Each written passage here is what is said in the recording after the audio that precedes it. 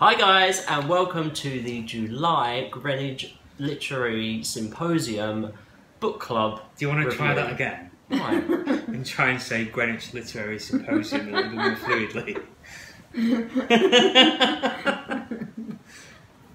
Hi guys and welcome to the July Greenwich Literary Symposium Book Club review. This month we have been reading Shtum by Jem Lester, uh, which was recommended by one of our fans. Um, Auntie Anne. Auntie Anne. Uh, so thank you for the recommendation. If you've got any recommendations for books that you'd like us to review, do leave them in the comment section below and make sure you subscribe to this channel to uh, see when we publish our book reviews as they happen. Um, so what's the book about, Katie? So, the book is about a young boy who has autism, and I suppose the relationships with his family and how his lack of communication impacts those relationships. I think. Yeah, I'll go with that. Yeah. Um, it's kind of how it influences the whole family and the relationships with the Yeah. whole family. However, Katie, Mm. I can see uh, the skirt that you're wearing. So, what did you think? Yeah, I liked it. Yeah? I did like it. Yeah, I thought it was good. Yeah. It was an interesting read. I loved it. I loved it. Um, I think what it talked to was kind of a side of autism that you don't really see in the media. Yeah. And this is almost kind of, I don't want to say trending, but there, there is this kind of mainstream view of autism in the media. And that's the view that, the understanding that I had of it until really I read this book, um, is that, you know, people with autism have some kind of superpower as well as having the, the, Yeah. the social difficulties and challenges that they do. They've also got they're either massively artistic or the the mathematicians. Yeah, of course. Um, but actually, autism is a spectrum, as like most of us know. But there's a real high end of the spectrum, and I hadn't appreciated that Mm. before. And I think this book is so real and honest about about that side of things. It's, Yeah. out of the mainstream media, and um, it kind of portrays the kind of judgment that main, the, the main the mainstream put on these parents who are trying to get the best for their child. It, Yeah. was, it, was, it was really I thought it was really I powerful. think that was the most beautiful thing about it, how Yeah. they showed the different side of autism that is not so well known by people. Yeah.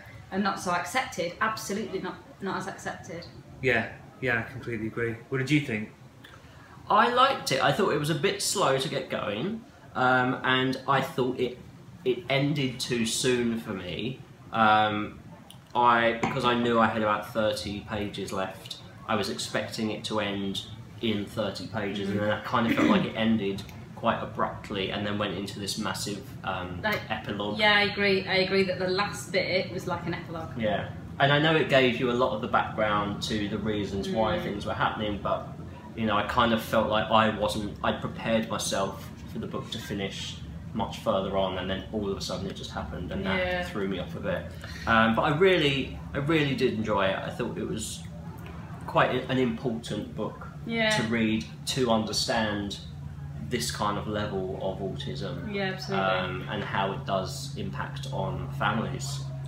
and the, that that lovely relationship, although very um, difficult relationship between the father, the grandfather, and the son. You know that yeah, that, that three and I thought that, that was a real like communication thing, Yeah. wasn't it? Because the, the the parents of this young boy couldn't communicate with him because he didn't talk or anything, um, and the grandfather couldn't communicate with his own son, but managed somehow to communicate with the lad. yeah. Yeah. Um, and it was the In a kind of really beautiful way, wasn't it? Yeah, um, and but the, the the father Ben was so jealous of of, of that Mm. relationship.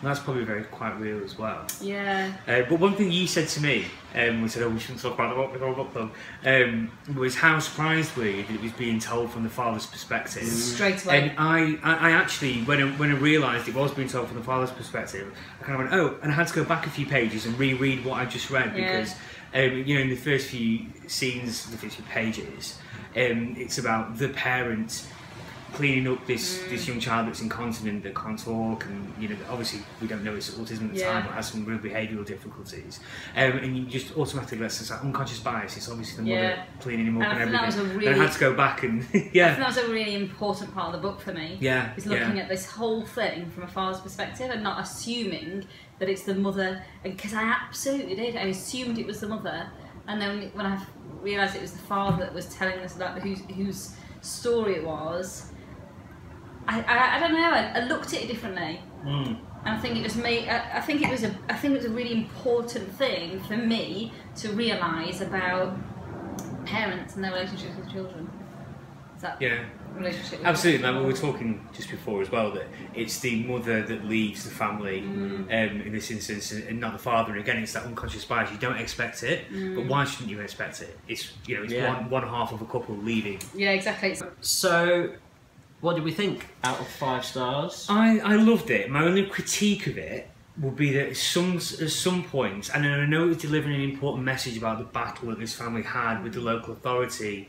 Um, and all, all the court process and tribunals and things like that. At some points, I felt it was a little bit too procedural, and it was a, a it was a little bit Ironically, for a book about communication, there was too many words used and they didn't need to be. Yeah, yeah. Um, so I'm going to give it a very solid and enthusiastic four and a half. Right. Okay. Um, I really enjoyed it. Um, I found it a bit slow to get going at the beginning, but I think I probably do with all books. Yeah. takes me a while to get into it, and I I didn't like the fact that it ended probably 30, 40 pages earlier, and then kind of went into this prologue Yeah, yeah. kind of thing, and that threw me a bit. Uh, I'm going to go with a four. Okay. Um, before I give my rating, there's a couple of things that I've sort of left bookmarks I wanted to mention Okay. because I liked them. First of all, was the shout out to Greenwich. Um, Oh, yeah, when they cross the river. When Yeah, yeah, yeah, the yeah. river, and they're like, "Yeah, but you've you never been to Greenwich? Because it's beautiful." So, Yeah. little shout out Tick. to Greenwich there. And the other one, um, there was a great quote in it. Someone told me last week, if you have one foot in the past and the other in the future, you piss on the present. And it, I like that, I yeah. love that. What a great way of thinking about it. You know, if, if you do, if you're living life either in the past or in the present, you forget about the future, and you, you know you can ruin it. I just thought it was quite clever. I thought for me it kind of summed up the book for me. Oh, Um, Do you mean the part if you're thinking about the past or the future? Yeah, You're not thinking about the present. yeah, yeah. Um, and I think that's the um, that's the father all the way through, Yeah. isn't it? Until the end when he finally grasps hold of, hold of his present. And so I thought Yeah. it was quite nice. Um, for me, it is a four out of five. Okay. Yeah, So it's probably an Average average, just a over four. four, yeah. just over four. yeah. know, Four. a four. and a yeah. bit. But Auntie Anne, good shout, mate. Keep the recommendations coming because we obviously all really enjoyed Yeah. that. Uh, do we have a recommendation for the next book? We do indeed. We do. Um, who has recommended the book? Um, we have been re- recommended a Martina Cole book this month uh, by none other than Martina Cole herself. Um, I asked her what she thinks that we should read, and she said one of mine. And I said which one? She said any. So we've gone with her newest book, Betrayal, which is currently buy one get one half price at Waterstones. Or three ninety nine on Kindle. Um, so if you want to read this along with us, um, then get your copy of Martina Cole's Betrayal this month, and then come back next month when we post our video review, and you can comment in the section below uh, to let us know what you thought. Um, thanks so much, guys, and we will see you next month. Cheers. Cheers.